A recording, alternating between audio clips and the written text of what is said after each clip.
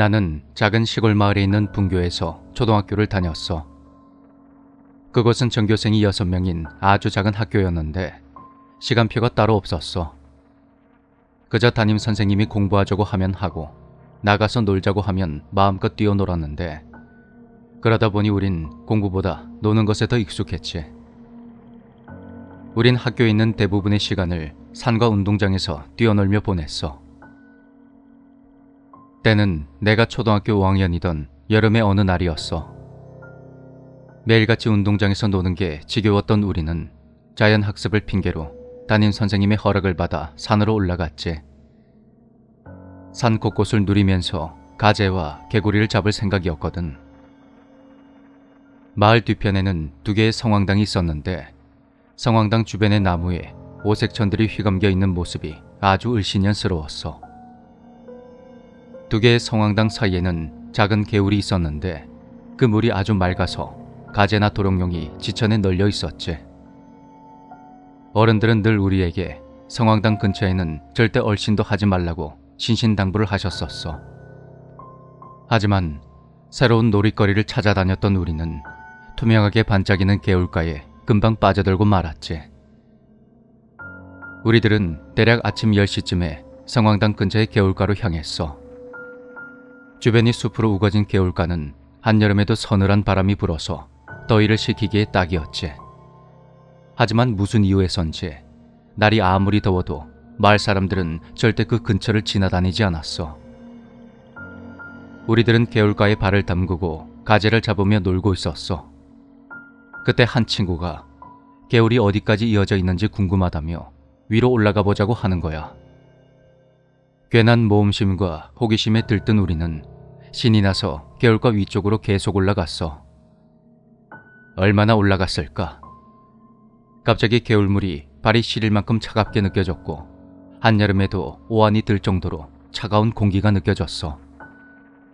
때낮이었지만 주변은 온통 숲에 둘러싸여서 어두컴컴했어. 그 모습에 겁이 났는지 저학년 두 명이 내려가자고 졸라댔어. 하지만 나와 6학년 형은 어른스러움을 보여주고 싶어서 하나도 무섭지 않다고 으스대며 계속 올라가자고 했지. 그렇게 20여 분을 더 올라가자 개울가 옆에 집 한 채가 있는 게 보였어. 그것은 무척 낡은 나무로 지어진 집이었는데 문과 창문에 발라진 새하얀 창호지는 어디 하나 찢어진 곳 없이 깨끗했어.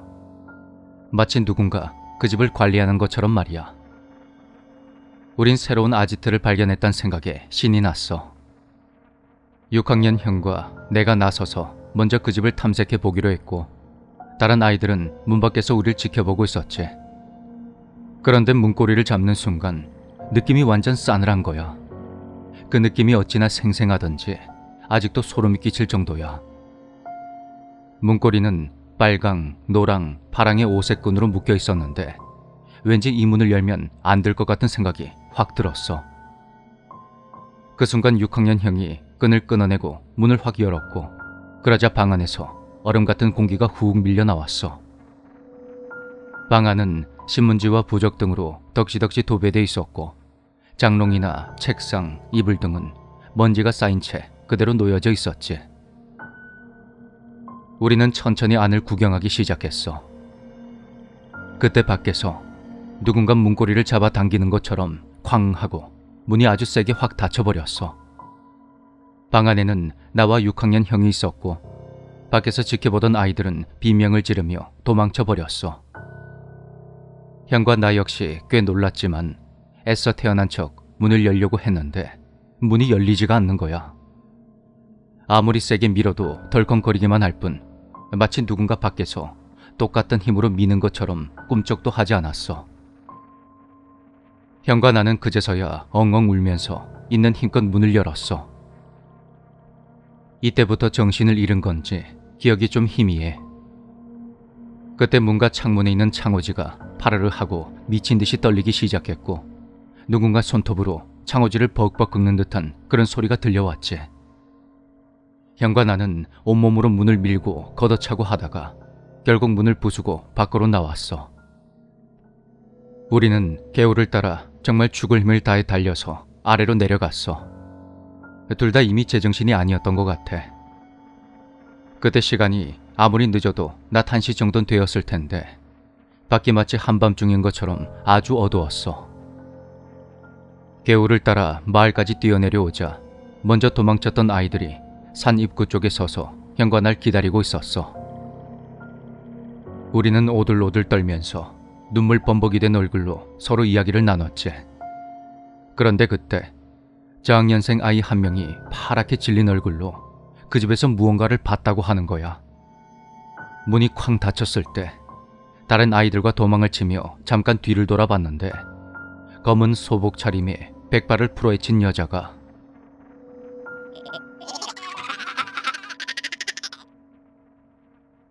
이런 소리를 내며 문을 꽉 닫고 있었다는 거였지. 그 말에 모두 소름이 확 돋았지만 우린 어른들에게 혼이 날까 두려워서 오늘 일은 모두 비밀로 하기로 약속했어.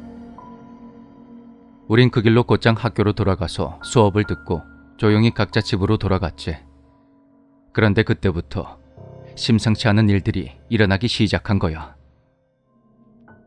그 폐가에서 도망쳐 나오느라 옷은 엉망이 되었고 난 눈물 자국이 선명한 얼굴로 집으로 돌아왔어. 엄마는 학교에서 무슨 일이 있었냐고 캐물으셨지만 난 놀다가 넘어졌다고 대충 둘러대고 말았어.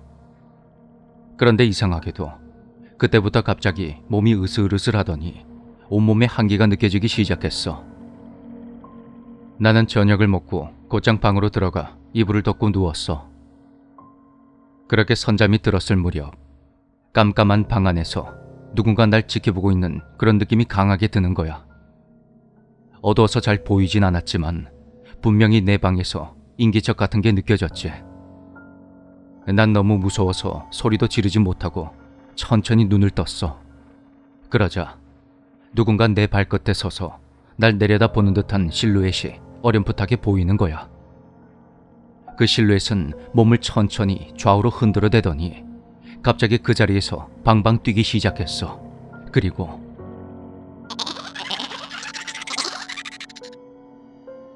그런 모습과 소리에 큰 충격을 받은 나는 정신을 겨우 붙잡고 있는 힘껏 비명을 질렀어. 그러자 할머니와 부모님이 달려오셔서 내 방에 불을 켰고 그러자 그 형체가 순식간에 사라져 버렸어. 순간 낮에 저학년 동생이 했던 말이 생각이 나며 온몸이 덜덜 떨려왔어. 두려움을 견딜 수 없었던 나는 결국 울면서 할머니와 부모님께 모든 사실을 털어놨고 내 이야기를 다 들으신 할머니께서는 어두운 얼굴로 날 추궁하셨어. 너, 그 문을 그대로 열어놓고 나온 거니? 네, 아이고. 날이 밝는 대로 무당을 불러다가 사람들 데리고 그 집에 좀 가봐야겠다.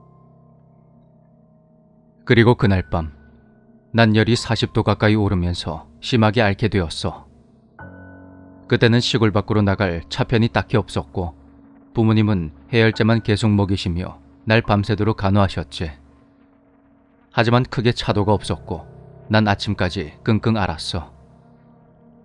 할머니는 날이 밝는 대로 읍내에 있는 무당을 찾아가셨어. 그리고 나와 함께 그 집에 갔던 친구들을 모두 우리 집으로 불러 모으셨지.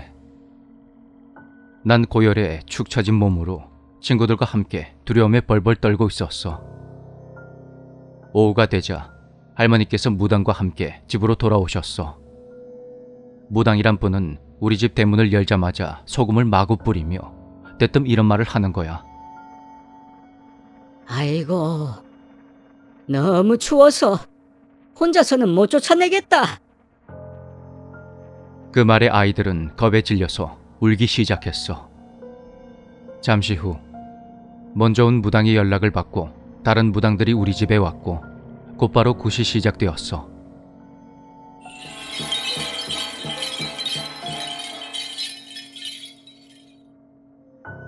무당들은 나와 아이들을 한가운데 모이게 해서 그렇게 앉혀두고는 이상한 나뭇가지 하나와 방울을 들고 마구 흔들었어. 우린 모두 숨을 죽인 채 잔뜩 겁에 질려서는 그 모습을 그저 지켜보고 있었지. 그런데 덩실덩실 춤을 추며 구슬하던 무당 한 명이 갑자기 뭐에 홀린 것처럼 자지러지게 웃어대더니 우릴 죽일 듯이 노려보는 거야. 그러더니 우리에게 다가와서 이런 말을 했어. 왜 내 집에 왔어? 왜?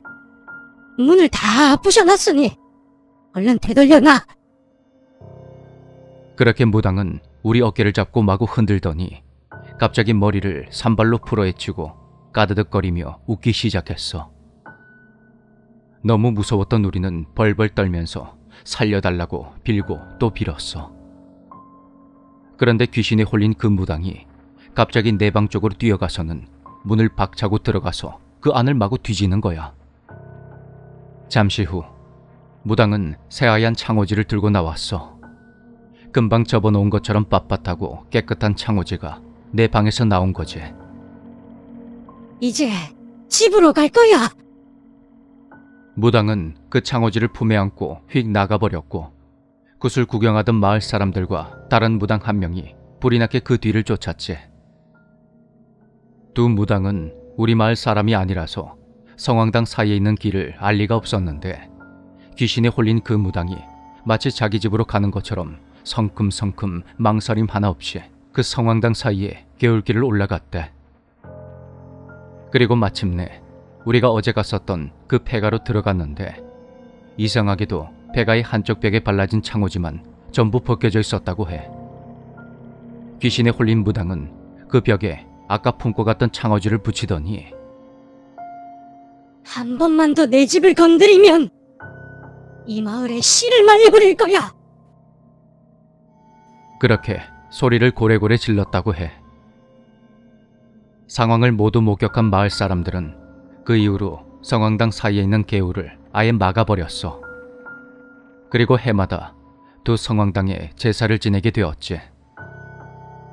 그 사건으로 우리는 어른들에게 크게 꾸중을 들었고 한동안 어른들의 감시를 받아야 했어. 그 후로 오랫동안 우리는 약속이나 한 듯 그 일에 대해선 입을 다물어 버렸지. 그러다 각자 성인이 되고 대학생이 된 후에야 차츰 그날의 일들을 꺼내기 시작했어. 그날 내 방에서 왜 창호지가 나온 건지, 또 무당은 그걸 어떻게 찾아낸 건지 도무지 알 수가 없었어. 그러던 어느 날, 당시 6학년이었던 형이 술에 취해서 나에게 고백을 해왔어.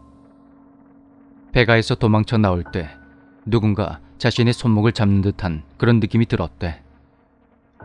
그래서 뒤를 돌아보니 하얀 창호지가 형의 손목에 칭칭 감겨져 있었다고 하더군.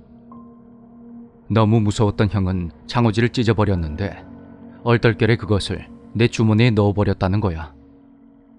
그 창호지에 귀신이 붙어서 날 따라왔던 거였지. 이미 오랜 시간이 지났기 때문에 그 형을 원망하진 않아. 하지만 난 그 일을 겪은 후로 폐가나 폐교 혹은 귀신이 나온다는 유명한 장소엔 아예 얼씬도 하지 않게 되었어. 버려진 곳은 나름의 이유가 있다고 해. 그리고 그런 곳은 귀신들이 살기에 아주 좋은 곳이지. 이 이야기를 듣는 사람 중에 혹시 단순한 호기심에 그런 곳에 가보고 싶다고 생각하는 그런 사람들이 있다면 무조건 말리고 싶어.